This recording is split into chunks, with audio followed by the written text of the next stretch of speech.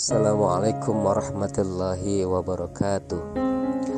Kenalkan nama saya Budi Mulia Salah satu peserta diklat calon kepala sekolah Dari SD Negeri Rawabuntu 3 Kecamatan Serpong, Kota Tangerang Selatan. Pada kesempatan kali ini saya sedang melakukan on the job training 2 Selamat menyaksikan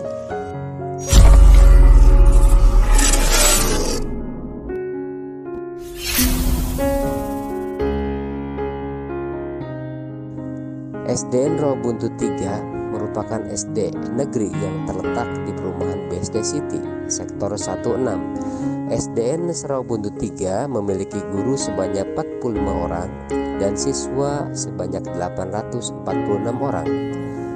Kelas ber-AC, toilet bersih, ruang UKS tersedia, dan fasilitas yang lain. SDN Rawabuntu 3 merupakan sekolah prototipe tiga lantai dengan segenap keindahan mural dan kolam inspirasi. Kegiatan rencana proyek kepemimpinan Adapun masalah yang akan diselesaikan berkaitan dengan kompetensi guru yang belum menguasai aplikasi pembelajaran digital. Adapun solusi yang ditawarkan dan telah dilaksanakan dengan menggelar bimbingan teknis, pembuatan email, dan pemanfaatannya. Kegiatan ini bertujuan untuk meningkatkan pemahaman tentang satu, meningkatkan kompetensi guru dalam penguasaan pembelajaran digital melalui pembuatan email dan pemanfaatannya. Dua, menghasilkan kepala sekolah yang mampu menganalisis permasalahan terkait standar mutu pendidikan yang belum mencapai standar. 3. Penilaian peserta didik meningkat. Dan 4. Tercapai well-being. Langkah-langkah kegiatan dimulai dengan persiapan, pelaksanaan, dan hasil kegiatan. Persiapan dimulai dari koordinasi kepala sekolah dalam merencanakan kegiatan, rapat panitia membuat undangan peserta, narasumber, serta persiapan tempat kegiatan. Pelaksanaan dimulai dari pengecekan suhu dan penggunaan hand sanitizer kepada para peserta BIMTEK. Hal ini dilakukan agar peserta bebas dari coronavirus disease COVID-19. Kegiatan dibuka dengan menyanyikan lagu Indonesia Raya dan sambutan kepala sekolah serta pengawas. Kegiatan dimulai dengan materi cara membuat email dengan narasumber Ibu Eni Arumitasari SPD yang merupakan guru SD Negeri Roboto 3 sekaligus bidang kurikulum. Kegiatan ini dilaksanakan dimulai dengan pretest. Hal ini dilakukan untuk mengukur kepahaman terhadap materi yang akan diajarkan. Hari kedua dan ketiga diperdalam dengan membuat email otomatis dan akun YouTube yang disampaikan oleh Muhammad Ripai ST yang merupakan ahli IT dari Asosiasi Guru Pendidikan Agama Islam Indonesia Agpai Pusat.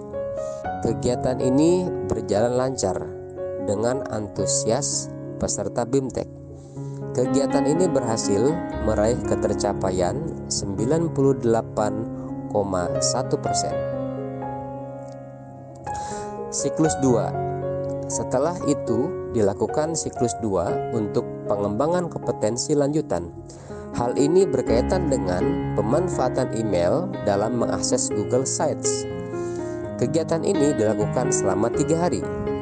Peserta mempresentasikan hasil karya Google Sites dengan beragam pilihan. Ada yang membuat Google Sites untuk keluarga, bisnis, dan pembelajaran di sekolah. Google Sites ini dapat diakses oleh peserta didik dan sekaligus menjadi tugas dan penilaian sekolah. Hasil kegiatan siklus 2 tercapai 98,1 persen. Selanjutnya, kegiatan peningkatan kompetensi di Sekolah Magang 2 SD Negeri Serpong 1. Persiapan dilakukan dengan berkoordinasi dengan Ibu Tarmini SPD selaku Kepala Sekolah SD Negeri Serpong 1. Dilanjutkan dengan penyusunan jadwal pertemuan yang dilaksanakan selama lima hari. Tujuan dari kegiatan peningkatan kompetensi adalah meningkatkan kompetensi kepala sekolah pada aspek kompetensi kepribadian, manajerial, supervisi, sosial, dan kompetensi kewirausahaan dan menghasilkan kepala sekolah yang mampu menganalisis permasalahan terkait standar mutu pendidikan yang belum mencapai standar. Pada pelaksanaan peningkatan kompetensi diawali dengan pertanyaan tentang kelebihan yang dimiliki oleh SD Negeri Serpong 1. Kelebihan tersebut menjadi jalan untuk pertanyaan lima kompetensi yang akan dipelajari berdasarkan pengalaman.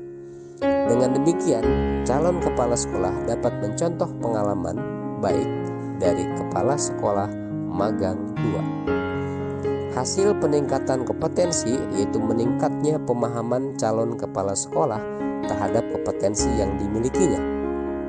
Siswa meningkat prestasinya dan terciptanya student well-being yang merasakan kesejahteraan dan sukacita dalam proses belajar. Simpulan Mengembangkan kemampuan calon kepala sekolah dalam mengidentifikasi masalah pembelajaran dan mampu menjadi bagian penting bagaimana calon kepala sekolah untuk memberikan solusi terbaik untuk dapat berupaya menjadi sebuah solusi dari kendala yang dihadapi oleh guru untuk meningkatkan capaian belajar peserta didik. Assalamualaikum Pak Budi, selamat siang. Kali ini aku akan menyampaikan bagaimana perasaan aku ketika belajar secara daring. Ada tiga. Yang pertama adalah penjelasan materi pelajaran cukup lengkap tapi jika ada yang kurang dipahami, aku bisa bertanya kepada guruku melalui WA. Yang kedua, jika aku kegerahan, aku bisa masuk ke kamar dan menyalakan AC. Demikian laporan on the job training 2. Terima kasih atas perhatian, like, and subscribe-nya untuk kemajuan pendidikan di Kota Tangerang Selatan.